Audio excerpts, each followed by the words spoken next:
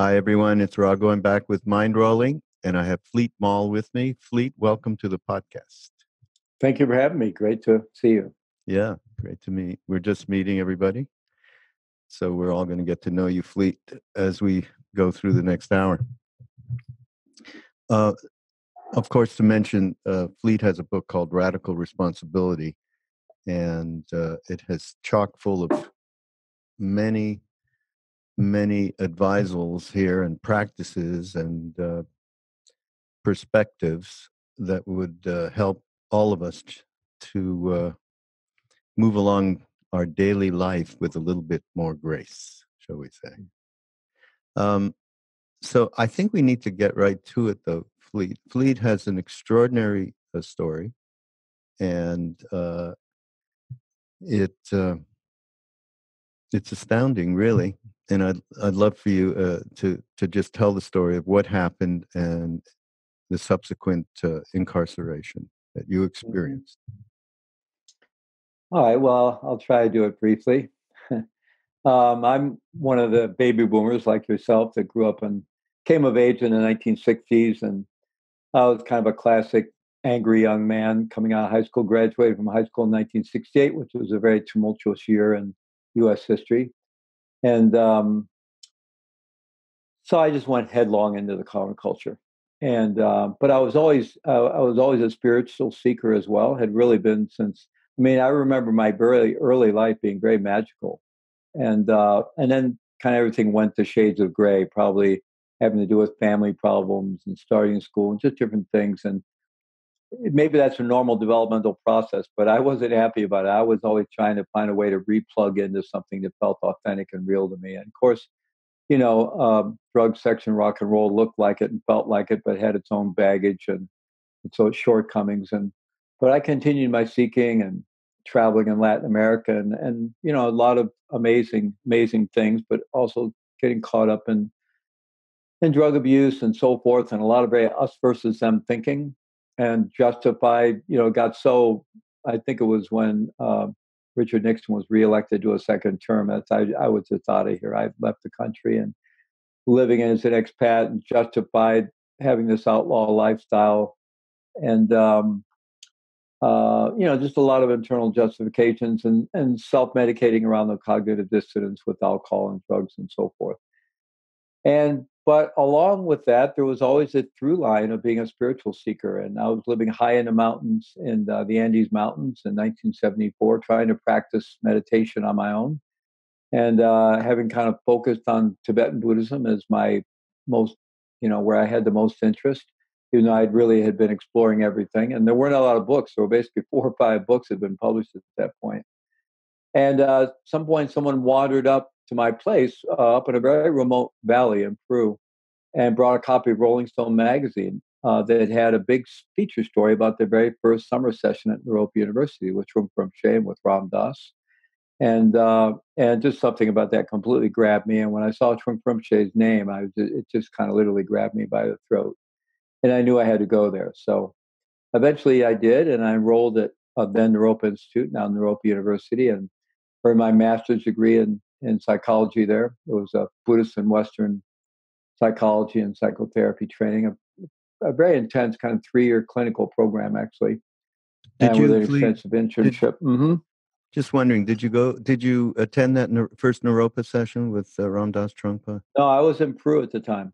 Uh-huh. I, okay. I, I, had many friends who did, but I was in Peru, so I read about it in Rolling Stone magazine, and uh, they, it found me way in the remote uh, mountains of Peru. So anyway, I, I managed to get up there uh, the following spring and check it out, and decided I want a program I wanted to do. And along the way, my son was born. Uh, his mom was from Peru, and and uh, I finally enrolled. And at any rate, in that way, I got very involved with uh, becoming a student of Chogyam Trungpa Rinpoche and really deepening in my path as well as continuing my education. But I still had this shadow life going on, both in terms of my own drug abuse and in terms of financing my lifestyle through periodic drug smuggling which I kept a secret from others and from my teacher and everyone else. And anyway, that program eventually landed me in prison and with a, a 14 year uh, federally funded sabbatical of sorts.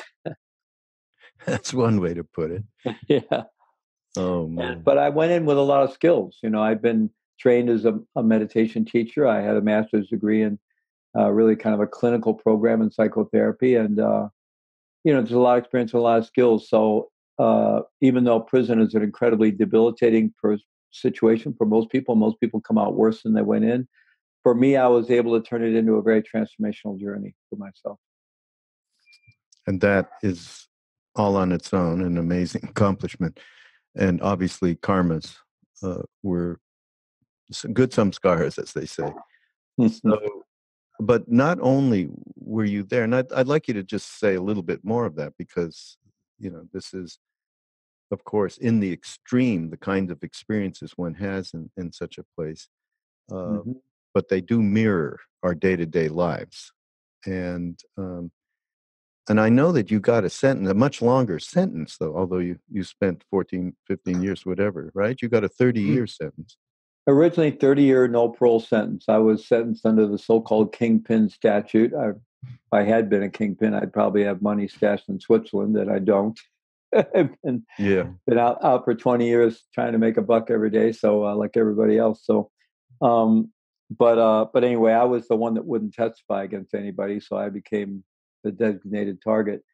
And uh, and I was sentenced, fortunately, before 1987 under the, what's called the old law in the federal system. And so at that time, even there was parole, which later they got rid of. But my sentence was a no parole sentence, and I was convicted of that. And given I had an aggregate sentence, was, there were five counts, and they all added up to 30 years.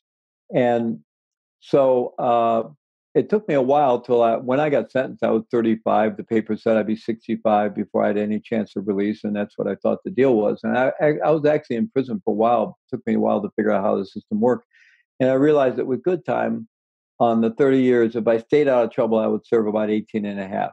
And that was a combination of statutory good time that you receive automatically. You can lose it by getting in trouble in prison and also what they call extra good time or work good time, which you get by keeping a job while you're in prison. So that still felt like forever at that point, as you can imagine. And of course, I had no surety that I'd stay out of trouble either. Um, at any rate, my appeal took about three years to go through the courts. And on appeal, they knocked off one count, a conspiracy count, which uh, is there to confuse the jury about the CCE because that's just a more elaborate conspiracy count. And uh, they really should throw out the conviction and you should get a new trial, but they don't. They just drop that and so anyway, that reduced it to 25, which was a relief. Uh, that meant I'd serve 14 and a half if I stayed out of trouble, which still felt like forever at that point. Um, but yeah, so that's what I, I did end up serving the 14 years inside and then the, the six months in a halfway house and on house arrest.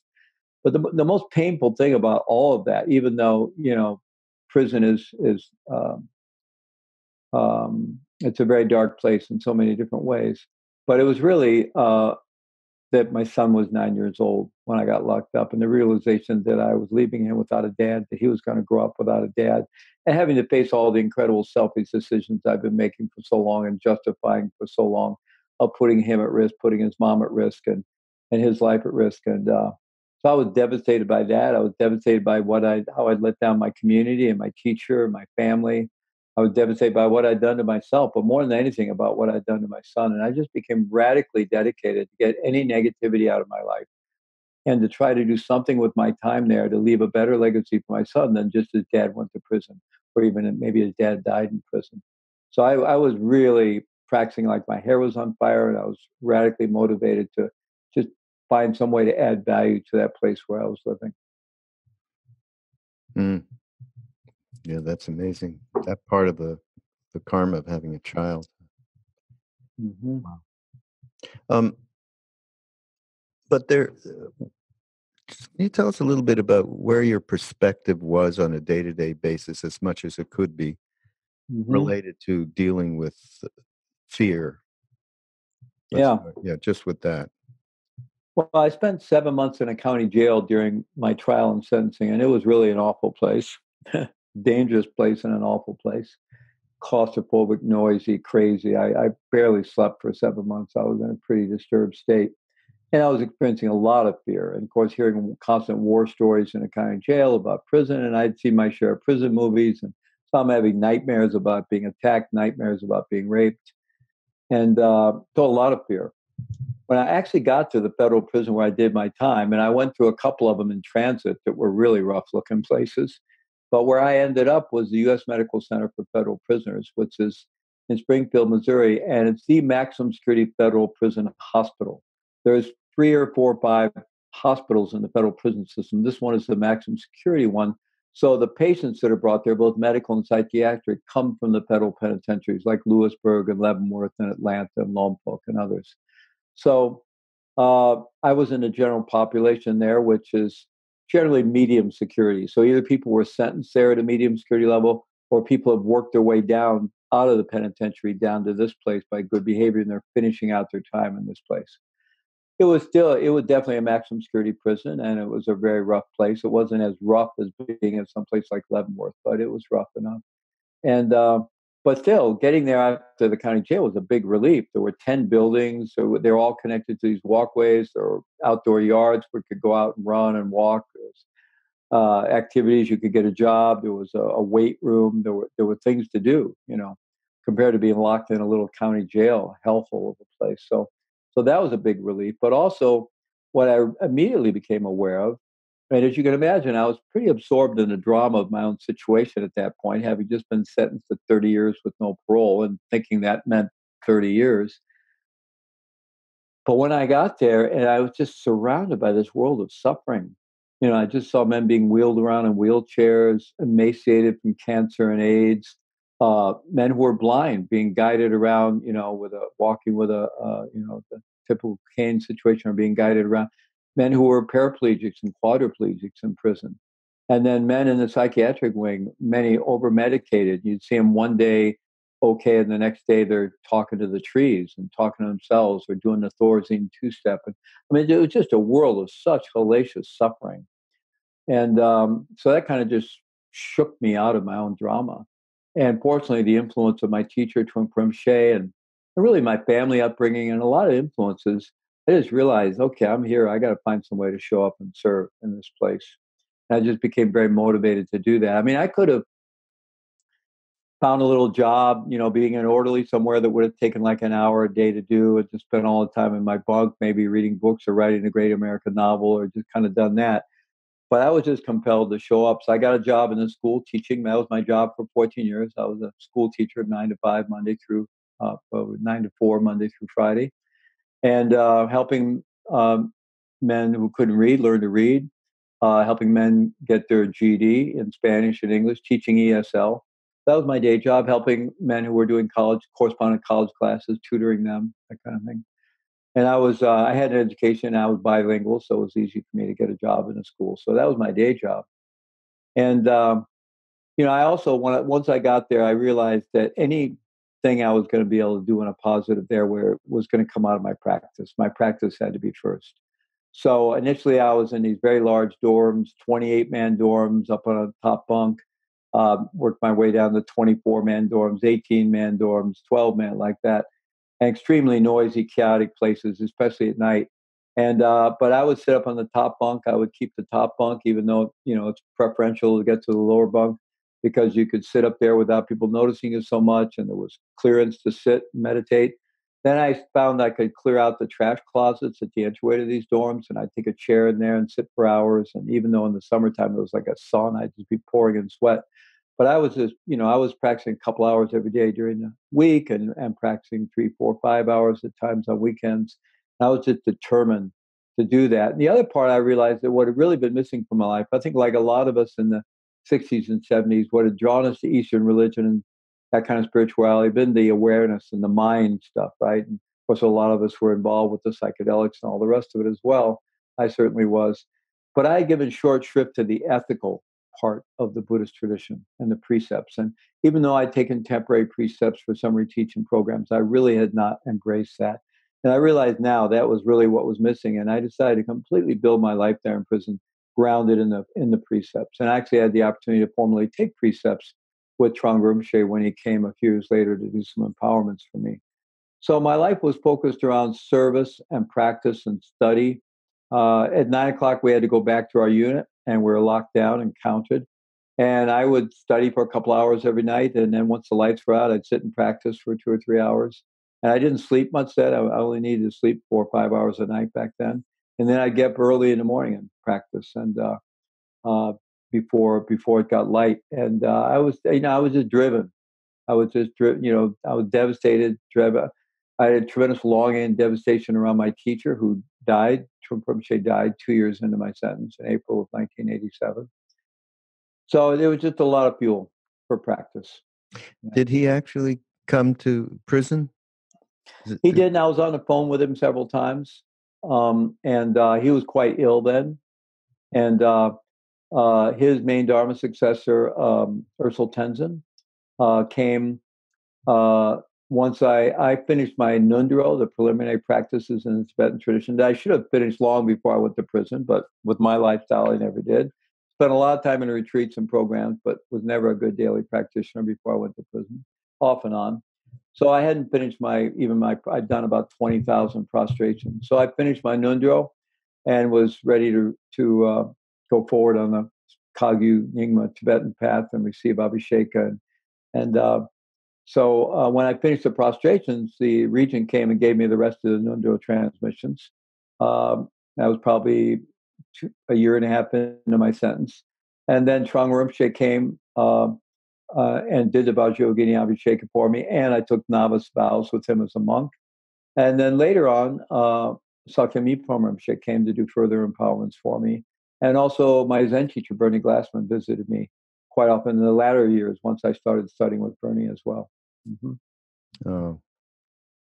So people were very generous. I mean, this was Springfield, Missouri. It's kind of an out of the way place.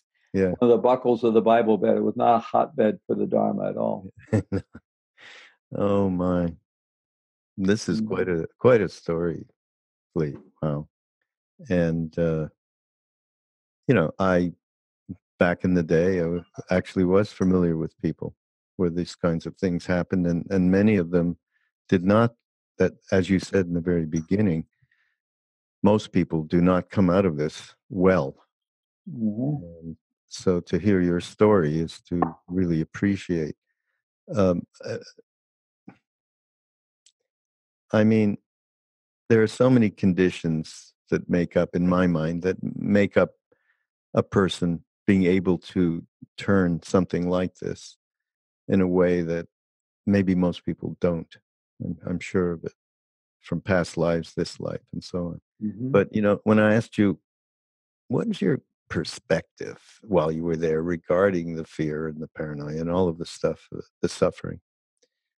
And uh, your comment was, "Show up and serve."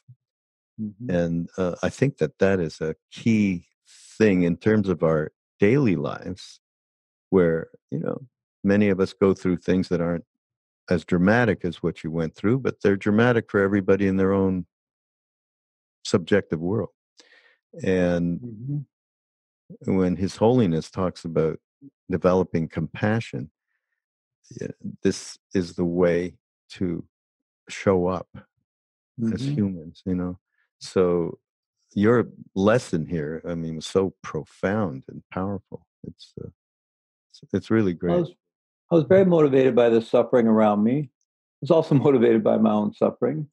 Um, um, and I also saw, um, you know, when uh, shortly after arriving in prison, I'm even in county jail. I'm hearing all the kind of stories you hear from your fellow prisoners. But once I got into prison, the way when you met somebody new, usually you'd walk the track together, and and the ritual was they they share their victim story, you share your victim story, and every prisoner's got a story, you know. And you know, my fall partner screwed me over, and my lawyer did me in, this, you know, and yeah. And after hearing a couple of those and hearing my own several times, I was like, I want to do more of that, which was not very compassionate or empathic of me, but I, I just, that's not where I wanted to go. And also in prison, you know, the vast majority of prisoners are just you know, the minute you get arrested, you're just buried with shame and guilt. It's a demonization and shaming process. So naturally, instinctually, just to protect ourselves, just to kind of, we most prisoners armor themselves with anger and bitterness, and um, just to survive. And so, all you got to do is just ask somebody right the right question. Out comes all this anger and victim narrative and so forth, and bitterness. And and I just that's not I didn't want to end up that way. I didn't want to come out of prison an angry, bitter person. And I didn't want to live that way while I was there. And I realized, and this really became the roots of this radical responsibility model that I've recently released a book of finally, is that I realized that the only way out or through for me was to just embrace 100% or 200% responsibility for having got myself into that situation. And I certainly, you know, I earned my way there. Now, there was a lot of people contributed to me ending up being targeted and getting the kind of sentence I did. And I, I had all kinds of people I could blame, fault partners, and the government cheated in every possible way in my prosecution, all that. I could have focused on all that. I just decided to put all that over there and say, I got myself here. And the only way I'm really going to transform and get through this is just to radically own the whole thing, right? So that became a guiding force. And that was really in alignment with my Dharma training and with especially the precepts practice and the monastic practice. And so that that became part of it. And you know, I also like I've always liked Ken Ken Wilber's work has been a big influence for me, and I love his his simple depiction of wake up, grow up, clean up, and show up. Right. So you know, I was doing all of that. I I knew I had substance abuse issues. I immediately got involved in the twelve step programs. There, we had a great AANA group, great outside sponsors coming in. So I was a, uh, an anchor for that group for 14 years. I started teaching uh, mindfulness in the uh, uh, in the chapel. So we had a twice a week Buddhist meditation group in the prison chapel that I sourced. Uh, because of the tremendous suffering there, another inmate and I started the first hospice program in a prison anywhere, a couple, two, three years into it, and trained other people, and it became a national model. I started a national organization while I was in there. Now there's hospice programs in about 75 or 80 prisons in this country. And and so I spend most of my free time up in the hospital wards, and I hate hospitals, actually, quite frankly. But I spent my time up there in the hospital caring for men who were dying of AIDS and cancer. This was the height of the AIDS epidemic, right? And they were bringing all the AIDS patients from the whole federal system to this place, and they were dying in horrific conditions. Um, this was before the protease inhibitors, and people got every opportunistic infection you could imagine. And, and that was incredibly transformative work to enter into another's life and to earn their trust and and realizing there, but for the grace of whatever, go go you, obviously. And some of our patients were younger than us, some were older, some were the same age. Actually, I knew very well I could have AIDS. I've been very promiscuous. Um, I've been an IV drug user, and I had not been tested yet. And I remember I was there with one of my patients, Lyle, and uh, we became really, really close friends. And it was really a, a tough learning experience for me because Lyle was amazing. He he was interested in meditation. He'd never formally joined any lineage, but he was always interested and he was practicing. And he got to know me in a group. He was there for treatment, was kind of okay. Then they sent him back to another prison. And when he came back, he was frail and really in his death process. And he lasted another nine months. And I was with him every day. And incredibly beautiful man who never complained, was very kind to the staff, the nursing staff, but was just heartbroken. He had a son the same age as mine on the outside. He also had a daughter about a year younger. And of course, as he would sit there and talk about his son, you can imagine what I'm going through. We've both been pilots. We've both been IV drug users. We had a lot, of, lot in common. And, um, you know, going through that journey with him and, and being able to hold space for him and, and realize that my job was to show up for him. And, uh, and you know, uh, he would, he would go back and forth between between the sweats and the shakes and the shivers and at every opportunity. There's tremendous suffering. And so that work was incredibly transforming because, you know, you knew it could be you. And at that point, I still had not been tested for AIDS. And eventually I did go get tested in prison. And fortunately, I, I, I was not HIV positive. Um, turns out I was Hep C positive, which I still am, but they think it's a false uh, they think it's a false positive because it's been for a long time. But a lot of people were dying of, of Hep C while I was in prison. In fact, one of my other Buddhist patients uh, died of Hep C. But this was incredibly transformative work for myself and others because you're really um, getting out of yourself and completely focus yourself on some what someone else is needing and on their suffering. So that was an incredibly transformative part of the journey. So all these things I was helping me grow up. I mean, getting locked up really woke me up in a way that I had been not quite woken up before. All these processes were part of growing up, and you know the twelve step work of cleaning up, cleaning up my act, and then being able to show up and and and show up for others. Yeah, the radical responsibility is uh, that's a great title. I, I don't know if you know this, but there's a, a wonderful story of Ram Dass. Uh, we used to go to Tail of the Tiger when it was called that, hmm uh, and uh, one day Trungpa pulled Ram Dass and told him, "Stand up and come come here, and come by my side." And he kept saying to him, "You know, Ram Dass, you got to be responsible, huh?" And Ram Dass going, "For what? Who's responsible? Is there a, someone there that that's a responsible? You know, all of this stuff." Yeah. Coming from our tradition to the guru's, guru, you know, is the uh, he's responsible. Okay, I'm just doing, you know. So it was a wonderful back and forth That's uh, around that that I've and Ram Dass and I still mention that and that uh, yeah radical responsibility and of course the way you were this wasn't a choice basically you know so Well, it was a choice. It was a choice. And maybe it was a choiceless choice given my background. but choice it was a choice. yeah And uh, you know what I the the thing that's really important, the distinction is really important to make is when I'm talking about radical responsibility, radical ownership, it's complete outside the context of shame and blame. It's letting go of that paradigm altogether. So it's not about blaming ourselves. It's certainly not about blaming others or blaming our circumstance, and it's not about blaming victims. It's just you know, given any circumstance I might be facing, whether I can see I had a hand in creating it or not, you know, at some point the setting question of what am I going to do with it? Am I going to let it take me down? Am I going to find the most creative way I can respond to this to move forward for my own benefit and others?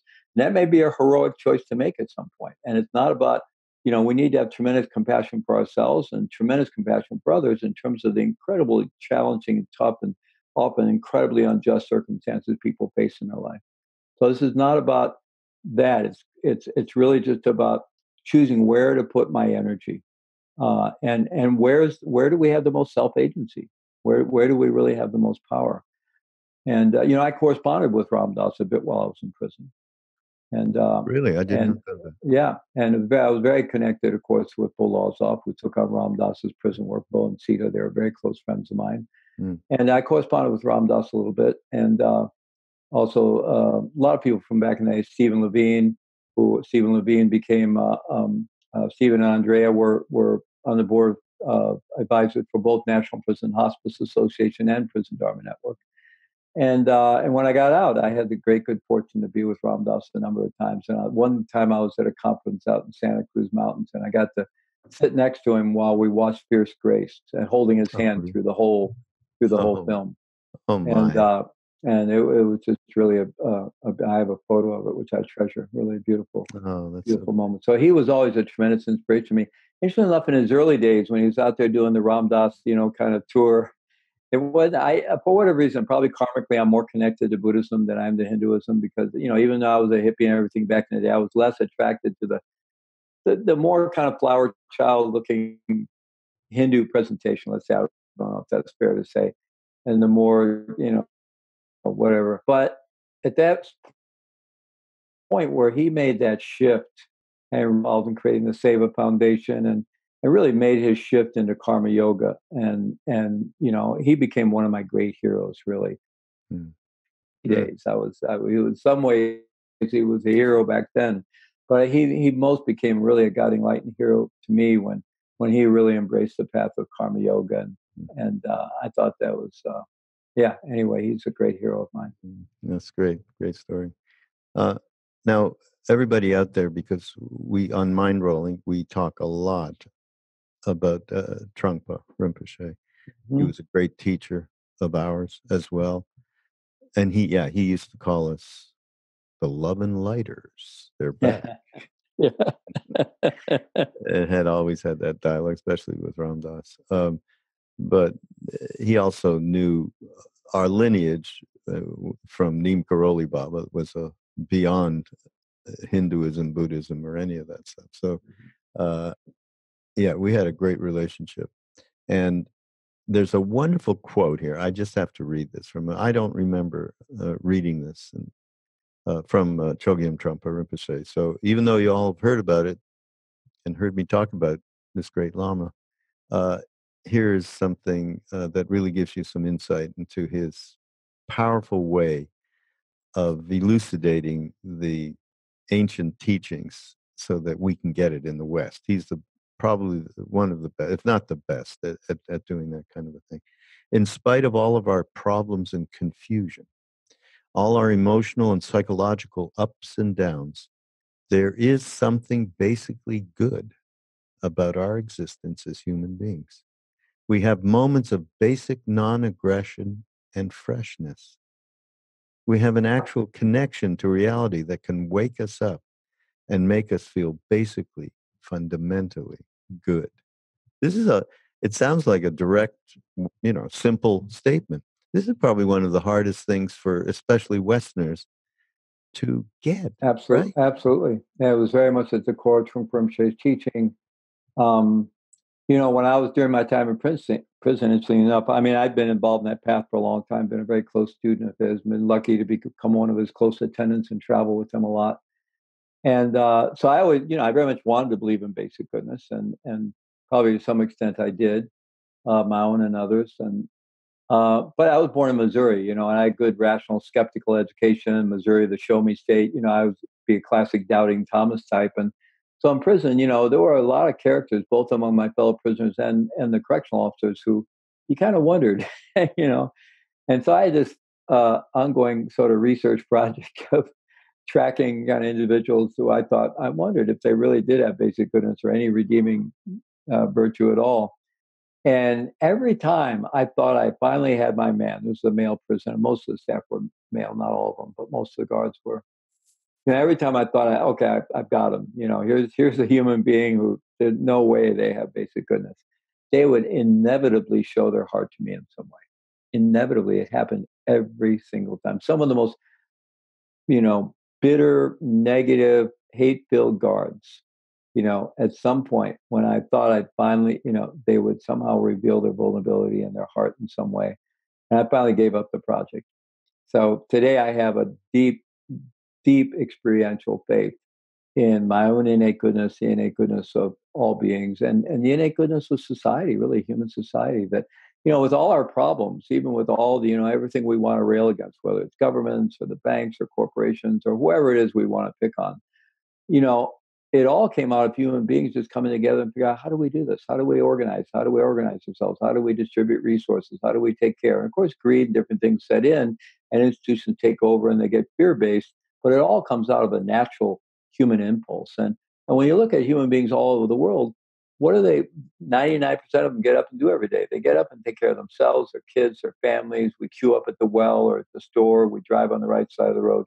We're naturally very partnering and cooperative unless fear sets in. Of course when fear sets in then other things can arise. But if we can you know if we can find ways to be resilient create resilient communities and and and create you know lower the fear levels within humanity you naturally get uh, very kind and loving and compassionate and cooperative behaviors.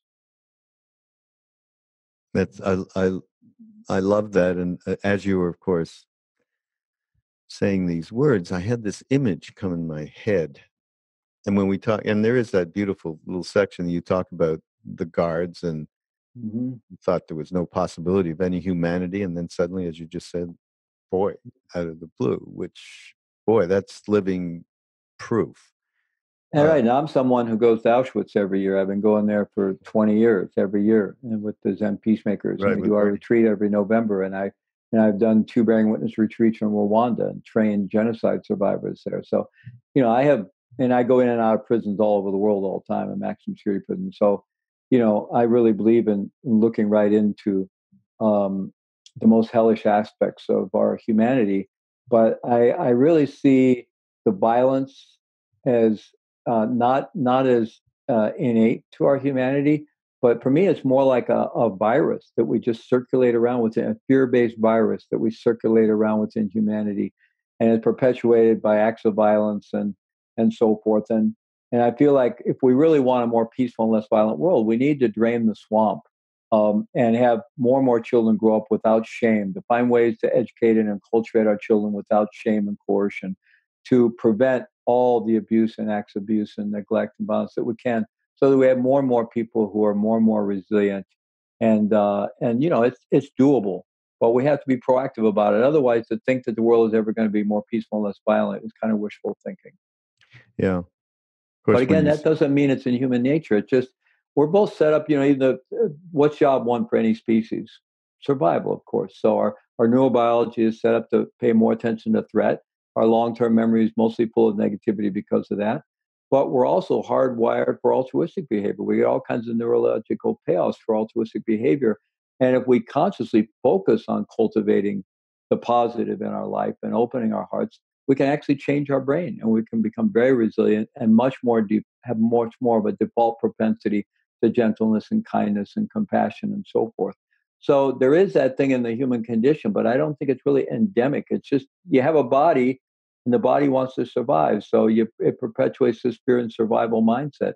But we also have completely have the capacity to override that. And that capacity comes from somewhere deeper. Yeah, uh, well, of course, though, uh, Fleet, when you did say drain the swamp, again, that image came up in front of my, in my head, the image of that person that is the, our president currently. and yeah, it came he, up he before when you were didn't exactly drain the swamp, did he? uh, there's nothing being drained. Uh, there's the hungry ghost thing going on with him big time, but uh, and also it came up when you were talking about the prison guard that eventually there was something that you directly experienced that showed real humanity and as his holiness said we all want the same thing yeah we all want to be safe secure and happy right i mean it's pretty easy it's pretty easy to see uh, uh, mr trump's uh, president trump's humanity um, you know i mean i think easy I think, I think he's a relatively confused individual. I think he's probably pretty wounded from his childhood, I suspect. And, uh, you know, he's operating out of fear and survival at a pretty grandi- grandiose level. Um, but, you know, it's if, if you pay attention, you can see his humanity as well. And, uh, you know, I think uh, given the right conditions, um, you know, actually, uh, Trump just uh, signed the first significant criminal justice reform bill in decades uh, that's actually going to allow people, it's going to bring good time back into the federal prison system. You know, I, I, was lucky to get all that good time. After 1987, the only good time was 54 days a year that you earned by staying out of trouble. So if I'd been sentenced to 30 years after 1987 to a no, well, everything was no parole then, I would have had to serve at least mm, 26 and a half 27 years on that 30, and the only way out would be a presidential pardon. So, uh, so Trump actually signed a bill recently, and you know, oddly enough, in the weird, our weird popular culture, you know, I think uh, uh, was it uh, Kim Kardashian was involved, and some other stars were involved in convincing him to to do it, and uh, you know, so there you go. Who who who's uh, we never thought um, you know that President Trump would be a uh, positive figure for criminal justice reform. But there, there you go. Mm. I do remember that actually when you mentioned Kim Kardashian. And, and yeah, now doing a lot of other things that are not so great, obviously. But, yeah. uh, but no, it's good to have some perspective that isn't so polarizing that we are all doing on a day-to-day basis around mm-hmm. all of this. So, yeah. um, so there's tons of stuff in the in the book that are there are wonderful practices and opportunities to get a new perspective, and in particular, one that I'm, uh, I think goes a long way to really helping again on the day-to-day basis for people in their lives. Uh, and that it, it's early in the book, the power of empathic awareness, and talking about, um, uh, you know, emotional intelligence, which uh, mm-hmm. Danny Goleman wrote many years ago, and Danny is part of uh, us mm-hmm. going over to yeah. India to meet Karoli Baba and so on. But um, we, I haven't really talked about. I think this is a great thing for people to delve into. So um, yeah, talk about what is emotional intelligence. Mm-hmm. Well, it's um, it's emotional intelligence has to do with awareness of our emotional life and our emotional body, and um, so Goleman's four quadrants are self-awareness, self-management, social awareness, relationship management. So, you know, self-awareness is just becoming more aware of kind of what makes us tick physiologically, neurobiologically, emotionally, cognitively, and uh, being more and more familiar with that, really through contemplative practices, mindfulness practices, really being more in our body and more awake and more aware So we're really getting to understand ourselves. We're we're we're we're not being kind of dragged around by our conditioning. We're actually in our body and awake to what's going on. And so we're learning constantly. We're learning all the time. We're aware of what our emotional triggers are. We may have some sense of how we got them. Uh, we're in the process of transforming them and at least being able to manage them and uh, and developing greater and greater self empathy and self compassion and self awareness. You know, a lot of when you see really negative human behaviors, whether it's self destructive or other destructive behaviors, that's coming out of someone's internal landscape that's very impoverished. It's full often of a lot of self hatred, uh, complete lack of self agency, an inability to self empower, uh, a, sense that everything good is out there, all power is out there, all rewards out there. And so it's a very impoverished internal landscape with a lot of negative core beliefs. And uh, out of that, of course, what you're going to get is self destructive and other destructive impulsive behaviors. So, through awareness practices, we're transforming that inner landscape and really learning to empower ourselves and understand ourselves. And, you know, that's really the beginning of developing more and more emotional intelligence. And there's a lot of wisdom in our emotions. And so, uh, our ability to really make good decisions in life needs to be informed by what we're feeling. We're actually pretty emotional decision makers. A lot of us think we make you know, even buying a car, we do all this research and we do all, you know, read consumer reports and we get all this research. And, and but then we go on the car, like, I want the blue one, right? Because it makes me feel good, right? We're, we're emotional decision makers. And so being able to understand our own emotions and the feelings of others and having a general, a genuine, compassionate interest in, in what we're feeling and needing, what others are feeling and needing, right? And, you know, this is the ground of, of really genuine relationship and authentic relationship. So in the first part of the book, I really I start with a chapter on basic goodness, right? Getting across this idea that there's nothing fundamentally wrong with us. We're not broken. We don't need fixing. And there is a deep reservoir of innate confidence we can tap into in the depth of our being. And then the mindfulness practices is a vehicle for doing that, and also a vehicle for just being in the driver's seat of our own life. And then the emotional intelligence chapter. So all those three are kind of this. A lot of the work I do, I call it mindfulness-based emotional intelligence. So that gives us a foundation to then uh, you know to really do the work um, you know and then the other chapter i go into what is the human condition how did we get to where we are how do we actually rewire ourselves for more resilience and, and better performance and then then i get into the actual core distinction between the drama zone the empowerment zone the whole radical responsibility distinction but the foundation really is cultivating mindfulness and awareness and cultivating greater emotional intelligence so that we're you know it, it, we're just getting better information about ourselves in an empathic way. And so we're able to act more intelligent with, with ourselves. We're getting better, more and better data about the world around us in an empathic way. So we're able to interact with the world more skillfully. So we just naturally interact with ourselves and the world around us more compassionately, more empathically, more skillfully because we're getting the right data. We're not just mm. operating, you know, in the cloud of our own conditioning, our fear-based conditioning in a reactive way. We're we're able to respond to life instead of living in a constant kind of me- mechanical reactivity. There's also this uh, social awareness, uh, and there's uh, something you say about um, which is focused on developing a number of of competencies related to others empathy mm-hmm. caring organizational awareness and having a service mm-hmm. orientation mm-hmm. which goes back to show up and serve and so this is highly important as far as I'm concerned. I, and I really got my emotional intelligence training in prison in a big way. I mean, I wasn't the most emotionally unintelligent person before I went to prison. I just had some blind sides and shadows, obviously, that I was dealing with, but I'd done a lot of work. But still, in prison, it was a whole major, another, a whole nother realm of growth, really, in a dramatic way. And you know, you mentioned about the fear before. So, you know, in in a prison, there's there's a major beef, conflict, violent incidents, just waiting around every corner all the time. I lived on a floor designed for 50 human beings, and we had 185 men, no air conditioning.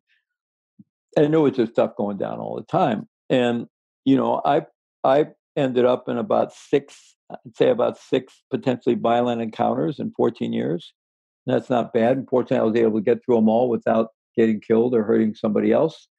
Um, but uh, you know there were times when I actually had to confront the situation, and um, but I probably avoided ten thousand situations, you know, just by being aware and learning how to carry myself in prison, and not carry myself belligerently, which attracts you know uh, challengers, and not carry myself weakly or passively, which attracts predators, but to be in relationship with the pace and and be in, and really tune into others. What is going on with others? And of course, learning to be a hospice caregiver, learning how to get things done in an environment which was a maximum security prison where the answer to everything is no.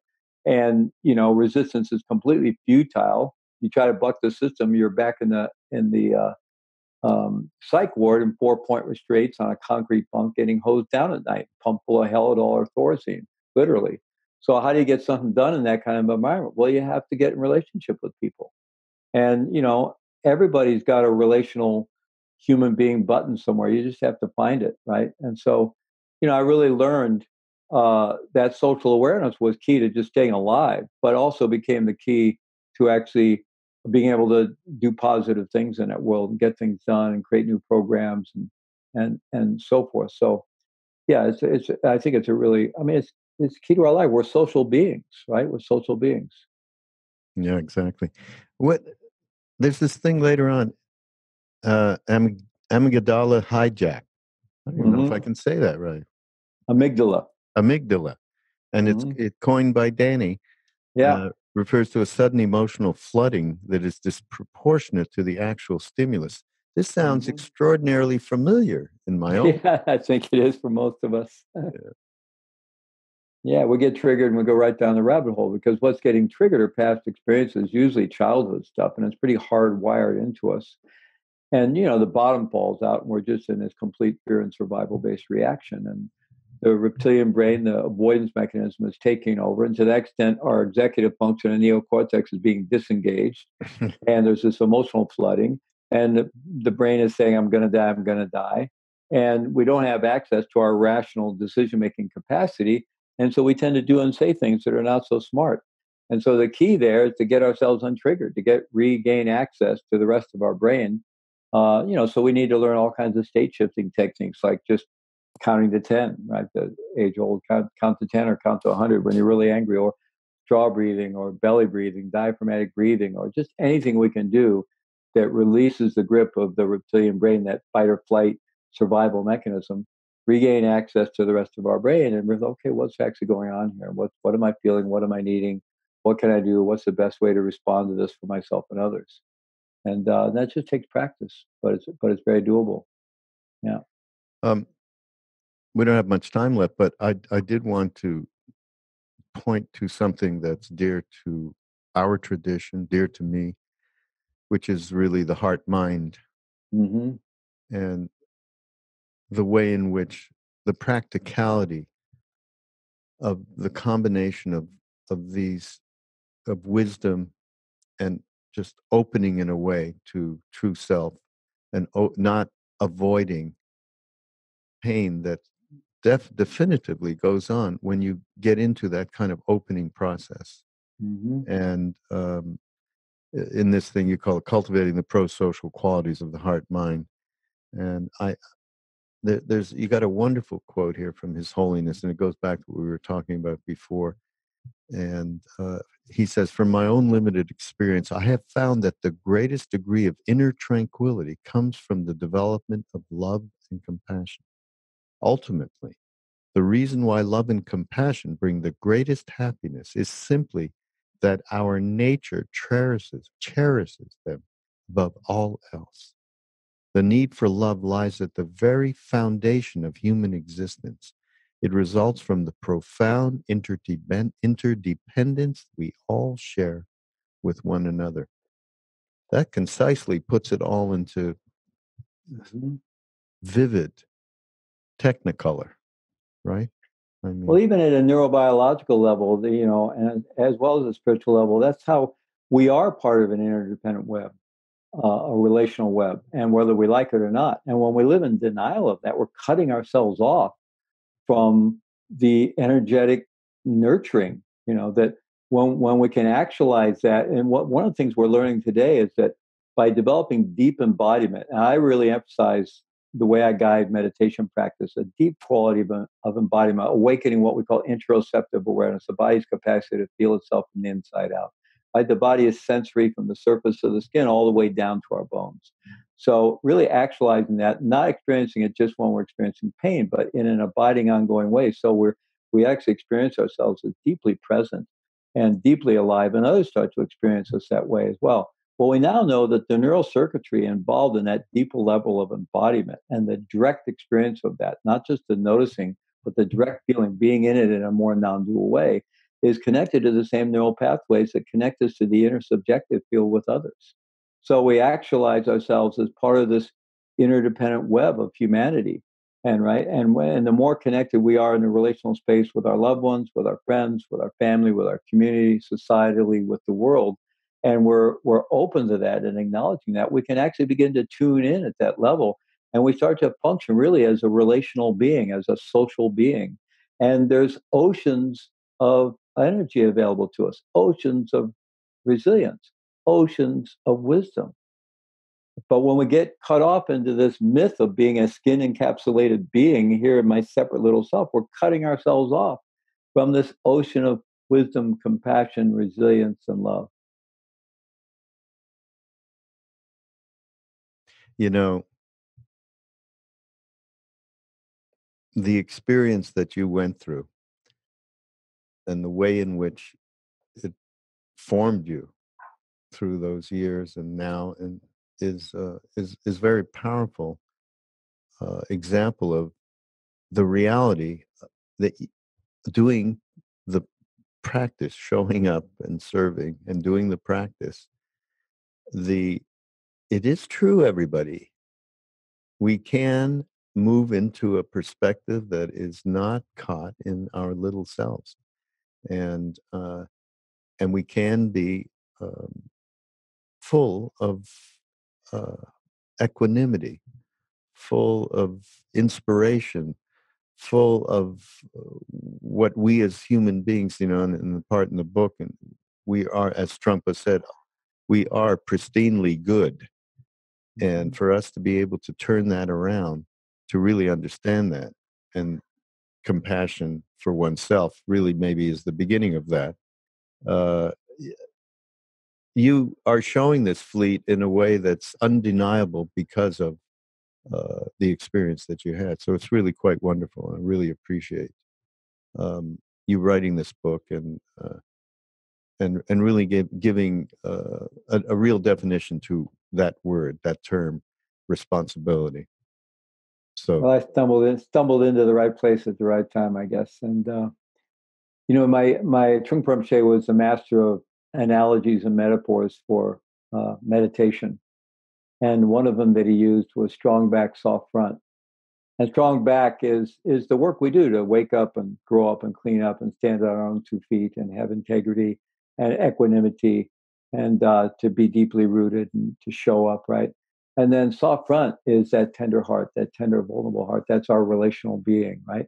So sometimes I think of that idea of Indra's net, you know, where we're we're all nodes on this net where you know the information moves around every pearl or jewel on the net has all so i often think that our job is to be a really good node on that net so you know what to add more value to the net than we are taking from it and then so we have to take care of ourselves we have to take care of ourselves to be a good node and that's kind of the the work of uh, of uh, strong back and then and opening to that and really participating and realizing that our even our sense of self we think our sense of self is here. It's, you know, if you ever experience a deep loss, you quickly realize your sense of self is not limited to you because your sense of self exists in your relational field. And when we have a critical loss, and I've had several, your sense of self takes a long time to reorder itself, which is what we call the grieving process. So we actually live in the relational field, whether we know it or not. And by embracing that, we can actually be a lot happier.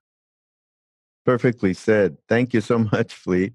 Really appreciate you being with us. This is Mindrolling on Be Here Now Network. Go to BeHereNowNetwork.com and you slash Mindrolling, and then you will be able to have links to this book and uh, Fleet's work and and so on, and some of the other books that we've been talking about, or or uh, uh, these transcendent beings that we have been so wonderfully taken care of by, which is also a miraculous thing in this life. So uh, thanks again, and we shall see you all next week. Thanks, Lee. Thank you. Thank you.